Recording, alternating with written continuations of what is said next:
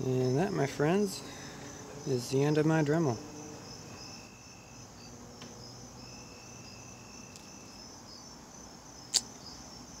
Yep.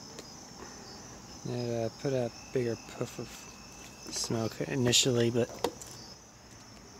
yeah, it's uh, it's dead. Hmm. Lasted be a good long time though.